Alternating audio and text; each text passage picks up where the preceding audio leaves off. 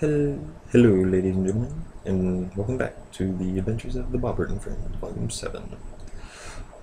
Um, my computer crashed, so I lost some of the video from Falls Creek.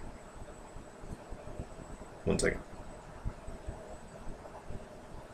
I was texting, sorry. And, which kind of sucks, honestly. There were some good videos. There was one of like the human chain, or the lack thereof. Because we were going to meet him like these five year olds me, Ricardo, Pablo, and Andrew, and or Cameron, think Andrew, and but they never showed, so that was disappointing. And so we stood on a globe. There's a picture of it that's going to show up right there somewhere. Yeah, there's actually two of them. There's that one and that one. We got uh, five people and four people. It's actually harder than it looked. That was very interesting, to say the least.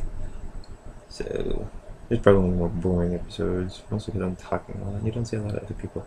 But, this is the final video for Volume 7. So, yeah.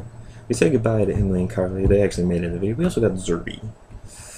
So that was pretty cool. And so I guess we'll go to the video now for the final goodbyes from Falls Creek.